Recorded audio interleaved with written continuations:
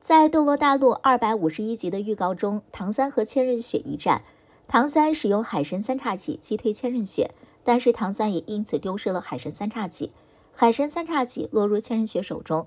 海神三叉戟可是十万八千斤重的神器，但是对于神级千仞雪来说，这点重量根本不算什么。他一只手就能举起海神三叉戟。在预告的画面中，千仞雪仅仅使用一根手指就弹飞了海神三叉戟，可见天使神的力量有多么恐怖。在原著小说中，千仞雪与唐三战斗时，唐三使用了泰坦巨猿的重力控制技能，将海神三叉戟提升到一百零八万斤。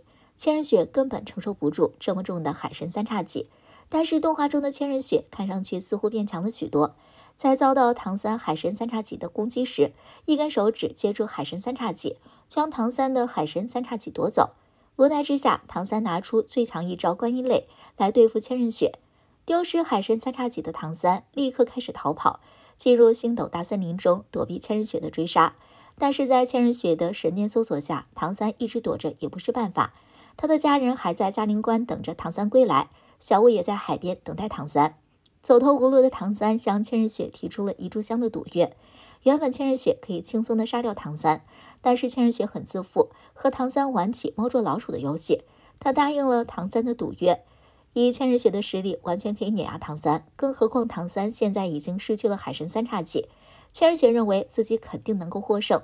难道天使神还会怕一个人类吗？然而，千仞雪还是小看了唐三，最终导致他的心脏都被唐三击穿。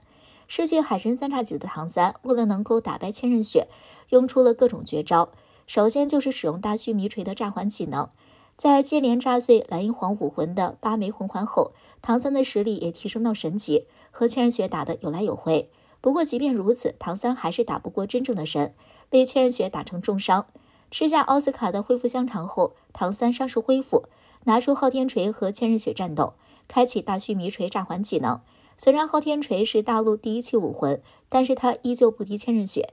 千仞雪在战斗中仅仅受了轻伤。无奈之下，唐三用出唐曼暗器观音泪，这一招是唐三最后的底牌。千仞雪怎么也没想到自己会被观音泪重创，还未成神的唐三竟然靠着观音泪打败了天使神。